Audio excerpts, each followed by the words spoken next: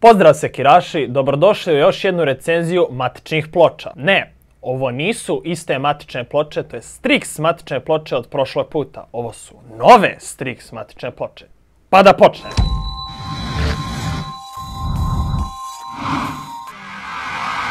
Ovoga puta na testu imamo novu Asus Strix Z270E matičnu ploču ATX formata i Z270E G matičnu ploču M-ATX format. Ove matične ploče dele dosta zajedničkih karakteristika jedne sa drugom, ali se razlikuju u par ključnih oblasti. Naime, glavna njihova razlika koja ih odvaja je njihov različit format, s tim u vezi da M-ATX format će odgovarati manjim kućištima kao i moderima i overclockerima koji će imati brojne benefite od korištenja matičnih ploča manjeg formata. Kutije od ovih matičnih ploča su izrađene od kvalitetnog kartona i sa svoje pozadinske strane će nam pružiti neke osnovne specifikacije, kao i njihov veliki portretni snimak. Kako je reč o identičnim propratnim paketima koji dolaze uz obe matične ploče, otkutijavanje istog ćemo vršiti samo kod jedne od njih, a to je ovoga puta Z270G Strix matična ploča. Pa da počnemo. Prvo što ćemo susretni u propratnom paketu jeste DVD sa instalacionim softverom koji nam je potreban za prvo pokretanje matične ploče, knjižica sa uputstvima za korišćenje ove matične ploče i kako je reč o overclockerskoj matičnoj ploči preporučujemo da ga detaljno prelistate. Dalje u paketu pronalazimo i jedan kupon za 20% popusta na Cable Mods kablove. Dalje da volimo mikser. Tu je i Republic of Gamers Coaster, to jest podmetač za vaše šolje ili čaše ili već iz čega preferirate da pijete vaše omiljeno piće. Također imamo i Strix, to jest Republic of Gamers stikere za vaše kućište ili stikere za označavanje vaših kablova, to jest SATA kablova u vašem kućištu. U ostatku paketa ćemo pronaći CPU Installation Kit koji je postao standard za većinu overclockerskih Asus matičnih ploča, limić za I.O. sekciju, jedno komentar za limić kod I.O. sekcije, on se razlikuje kod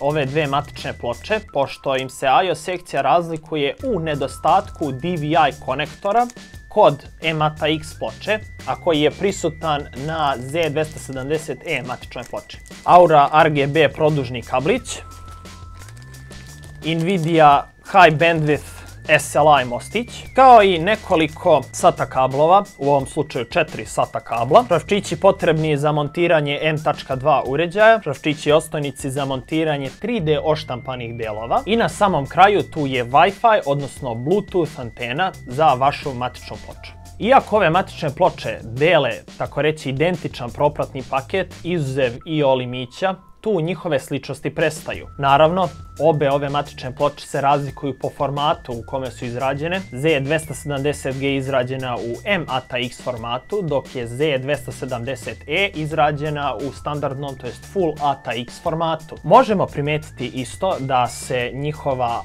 I.O. sekcija donekle razlikuje s tim da Z270E matična ploča posjeduje I.O. cover, plastični I.O. cover, koji u sebi ima integrisano Aura RGB osvjetljenje, dok ova matična ploča to ne posjeduje, ali svakako Aura RGB osvjetljenje integrisano, ali ovoga puta je samo PCH hladnjak osvetljen. Također, obe ove matične ploče posjeduju ojačane PCI Express slotove, koji su ojačani sa čelikom i pružaju 1,6 puta veću snagu, i to će dosta doprinijeti prilikom montiranja, to je dosta će doprinijeti sigurnosti prilikom montiranja težih grafičkih karti sa masivnim vazdušnim hladnjacima, ali i LN2 potovima, pošto je ovdje reč o overclockerskim matičnim pločama. Kada smo već kod overclocka, obe ove matične ploče su se odlično pokazale na našim testovima i naš primjerak 7600K i5 Kaby Lake procesora su uspjele da overclockuju na 5 GHz,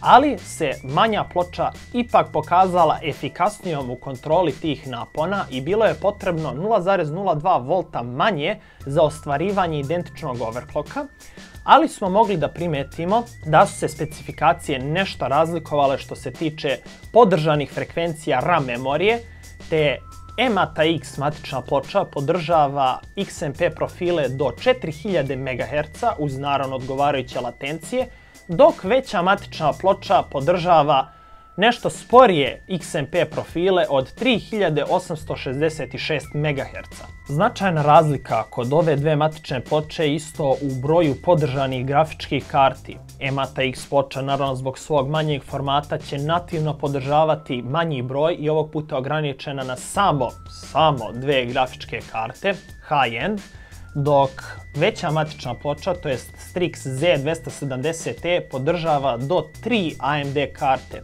Govorim 3 AMD karte zato jer je Nvidia sa svojom novijom Pascal arhitekturom ograničila SLI konfiguraciju na maksimalno dve karte, dok će vam biti potreban poseban ključ za upotrebu više od dve karte, ali to ima i određenih svojih nedostataka zato jer upotreba više od dvije karte u nativnoj SLI konfiguraciji umanjuje značajno performanse u nekim igrama, naslovima kao i benchmarkovima. Jedna od sličnosti koje ove dve matične ploče dele je tako reći identična VRM sekcija koje su hlađene sa identičnim monolitnim aluminijumskim hladnjacima koji su izrađeni od jednog komada aluminijuma i pokazali su se dosta efikasnim u našim testovima te temperatura VRM sekcije nije prelazila nekih 40 stepeni, a pošto matične ploče ne posjeduju posvećene temperaturne senzore za detekciju temperatura VRM zone, za utvrđivanje temperature smo koristili naš pouzdani laserski termometar. Obe ove matične ploče također,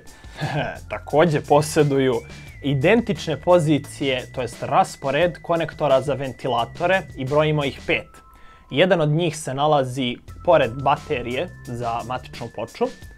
Drugi, to jest druga dva, se nalaze CPU fan i CPU fan optional, se nalaze između CPU soketa i RAM utora. Jedan od fan konektora se nalazi nešto malo dalje od samih RAM utora i posljednji fan konektor se nalazi ispod PCH hladnjaka. Prednosti većeg formata leže u tome što imate više prostora da stavite više komponenti, te ipak na većoj matičnoj ploči, to jest na Z270E matičnoj ploči, brojimo čak šest konektora za ventilatore.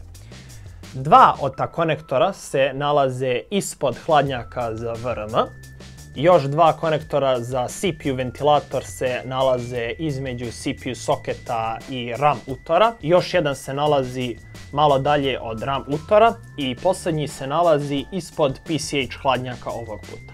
Obe ove matične ploče posjeduju tako reći identičnu audio sekciju i ona se ovoga puta sastoji od Asus Supreme FX audio čipa, to jest audio kodeka, kao i Nichicon zlatnih audio kondenzatora koji će omogućiti da uživate u divnom toplom zvuku u vašoj muzici, filmovima i gamingu naravno. Sada prelazimo na mogućnosti za povezivanje vašeg skladišta na ove matične ploče.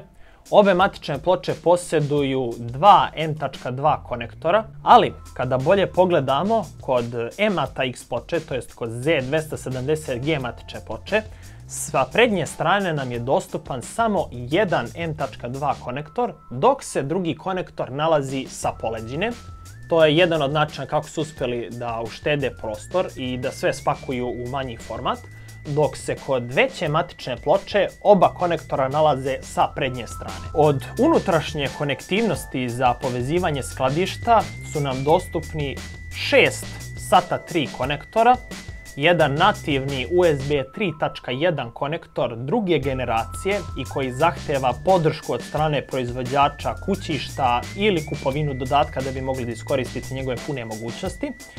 Ali ćemo isto i pridnu pronaći i jedan nativni USB 3.0 kao i USB 2.0 konektor, ali i jedan Aura RGB konektor za povezivanje vaših 5050 LED RGB traka. I za kraj je ostalo da utvrdimo koje naše priznanje ove dve matične ploče zaslužuju. Moram uzeti u obzir da između ove dve matične ploče postoji jaz od čak 60 evra, gdje manja matična ploča, to je Strix Z270G ploča košta 190 evra, dok veća matična ploča košta čak 250 evra, dok se manja matična ploča pokazala nešto boljim overclockerom jer je preciznije mogla da kontroliše napon, a i zbog manje cene njoj ćemo dodeliti PCX Diamond nagradu, ali naravno tu su uključeni i vrhunski rezultati na našim testovima. Koje ćete moći pronaći u linku, to jest u opisu ovoga videa, u našem članku koji imamo na PCX sajtu, dok će Z270E Strix matična ploča zaslužiti PCX Platinum priznanje za također dobre rezultate, ali ne opravdava toliku razliku u ceni. Ako ste se pitali o čemu je ovdje reč, u pitanju je Lego Točkić, moje ime je Srle, na forumu me znate kao Dr. Srle i vidimo se u sljedećem videu. Ovaj video je uploadovan uz pomoć SBB mreže. SBB.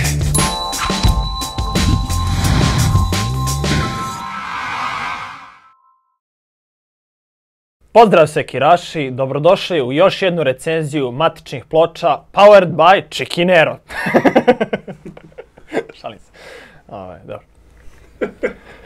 Dobro, pustio se. Ajde. Kako je reč o identičnim propratnim paketima koje dolaze uz obe matične ploče, vršit ćemo otkutjavanje samo jedne od njih, a to će ovoga piti... Ovo ga piti. Ajde.